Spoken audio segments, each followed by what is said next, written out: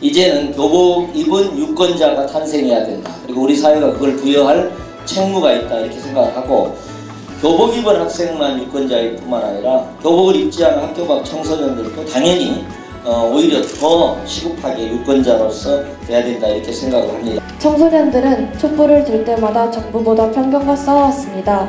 아직 어리지 않느냐, 미성숙하다, 편견 투정이와 싸워왔습니다. 현재도 선택할 수 없는데 어찌 청소년이 나라의 미래라고 할 수 있습니까? 하지만 우리는 이미 현재를 이 사회를 살아가고 있는 구성원임과 동시에 대한민국을 이루는 엄연한 하나의 주체라는 것을 알아주셨으면 좋겠습니다. 19세 미만 선거권 정당 가입 금지는요 어, 청소년을 보호해주기 위한 것이 아니라 청소년으로부터 국가나 어, 그 공동체를 보호하기 위한 것입니다. 어, 학교에서 정치 교육이 이번에는 선거권 연령 인하와 더불어 반드시 필요하다고 생각하지만 현행 입시 제도에서의 입시 제도를 고치지 않으면 그것이 상당히 저는 힘들다고 생각을 합니다.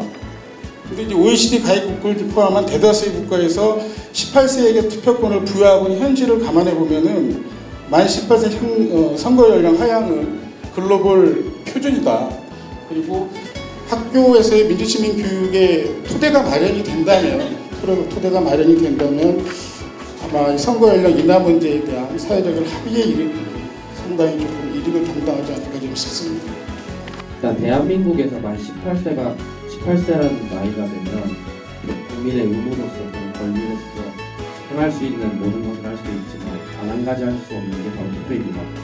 혹시 그 총칙에서는 법안 통과 이후 한국 교육의 방향성, 체계에 대해 구상하거나 계획한 것이 있는지 여쭙고 싶습니다.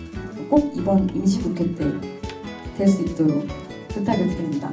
그 만 18세 선거권 문제에 대해서 어, 학생들 스스로가 이렇게 음, 주체적으로 나섰다는 것 자체에 대해서 저는 너무 반갑습니다. 어, 저는 좋습니다. 고맙습니다.